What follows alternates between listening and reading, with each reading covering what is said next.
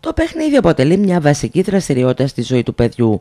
Διαδραματίζει σημαντικό ρόλο στη σωματική, ψυχοσυναισθηματική, κοινωνική και γνωστική του ανάπτυξη, καθώς το παιδί μέσα από το παιχνίδι έχει τη δυνατότητα να δράσει ελεύθερα, να αναπτύξει τις σωματικές του ικανότητες, την κρίση του, να ερευνήσει τον υλικό κόσμο, να εκφράσει τα συναισθήματά του, να αποκτήσει εμπιστοσύνη στις ικανότητές του και να μάθει να κοινωνικοποιείται και να συνεργάζεται.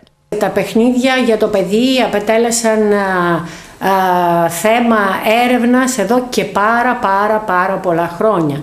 Ε, δημιουργήθηκαν θεωρίες, φυσικά περιττώ να σας πω ότι στη Θήβα είχαν βρεθεί οι πρώτες πλαγκόνες όπου στην αρχαιότητα παίζανε τα παιδάκια με αυτούς, εμείς τους ονομάσαμε στα νεότερα χρόνια Φίβο και Αθηνά ε, από εκεί και πέρα όλες οι θεωρίες ανοίγουν το παιχνίδι σε επιστήμη και από αυτής της βάσης εργαζόμαστε και συχνά κάνουμε και έρευνα μέσα από το παιχνίδι στην, για το τι συμβαίνει σε μια οικογένεια και κατ' επέκταση τι συμβαίνει στον ψυχικό κόσμο του παιδιού, ως επίσης το χρησιμοποιούμε και ως θεραπευτικό μέσο.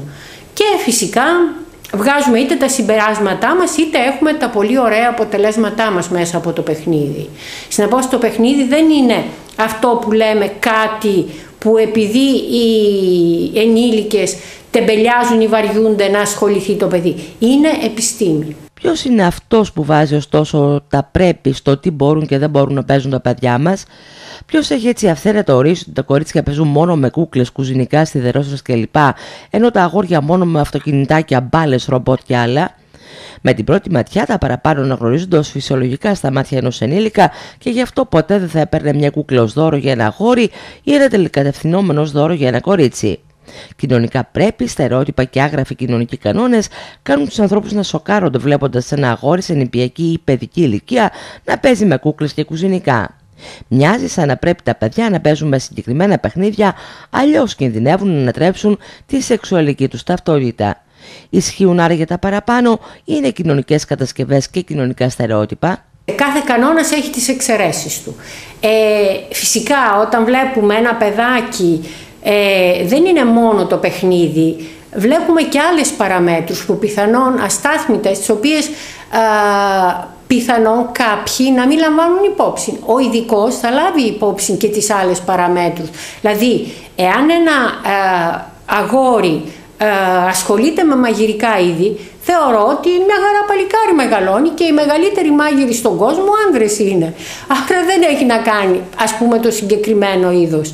Τώρα, ίσως παλιότερα να το βλέπαν έτσι οι γονείς.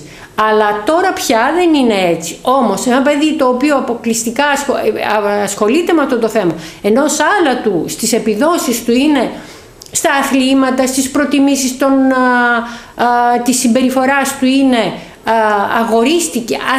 Και πάλι αυτές οι εκφράσεις δεν είναι τόσο οικίες προς τον επιστήμονα, απλά τις χρησιμοποιούμε για να μπορεί ο κόσμος να μας καταλαβαίνει ε, όλες αυτές οι τοποθετήσεις ε, λαμβάνονται υπόψη και ύστερα βγάζουμε τα συμπεράσματα. Δεν είναι μόνο το παιχνίδι ή μόνο η οικογενειακή ατμόσφαιρα ή η μονογονεϊκή οικογένεια που θα πάρει πρότυπα τα παιδιά. Είναι πολλά μαζί. Γιατί λοιπόν να πρέπει να προγραμματίσουμε και να πιέσουμε τα παιδιά μας προς μια ορισμένη κοινωνική κατεύθυνση; Μήπως αυτό που τελικά πρέπει να αλλάξουμε είναι ο τρόπος που ερμηνεύουμε τα πράγματα; Ίσως τελικά να έχει έρθει η ώρα να αλλάξουν κάποια κοινωνικά στερεότυπα.